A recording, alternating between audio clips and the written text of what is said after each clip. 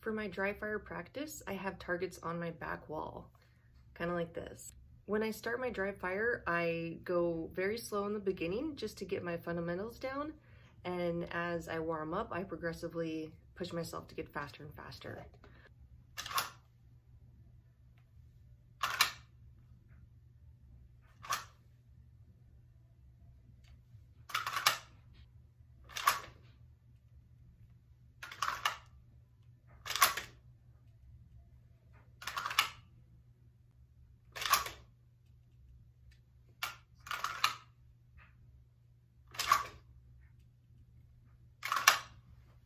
I use a shot timer, which helps me get into that competition mode and it just makes yourself push uh, a little bit faster when you hear that beep.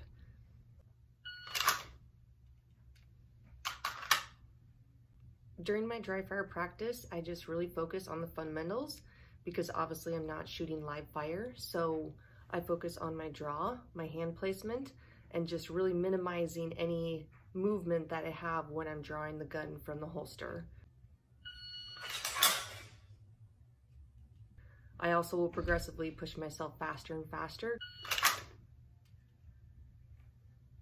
In addition, what I'll focus on is obviously sight picture, target transitions, and trigger pull. I can still mimic the trigger pull even though I'm not actually shooting live fire.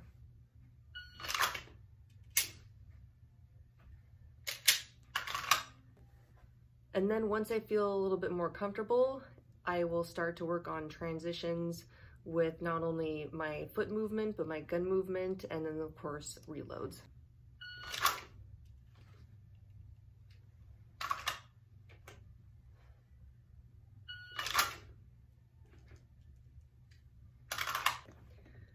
So for dry fire, I use two magazines. I have an empty magazine, and then I actually have a magazine that has dummy rounds in it. Now, these aren't dummy rounds or snap caps that you buy in the store.